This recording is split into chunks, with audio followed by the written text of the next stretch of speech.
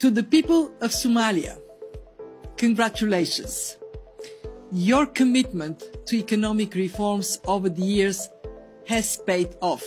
haddaba dhegaystay ama daawaday sida shaashadda kaaga muuqata amba aad ku maqlaysay ayaa hadda dowladda madaxweyne xasan sheekh maxamuud iyo weliba mudane xamse cabdi barre ayaa iyagu hadda ku guulaystay in dowladda soomaaliya laga cafiyo balaayiinkii dollar ee uu caalamka ku lahaa Your commitment to economic reforms over the years has paid off.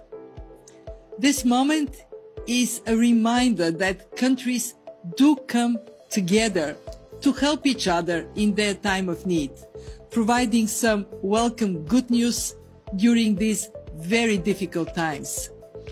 Starting today, Somalia will gain access to new financial resources from development partners, resources that can begin to build a more resilient and prosperous future for Somalia's people.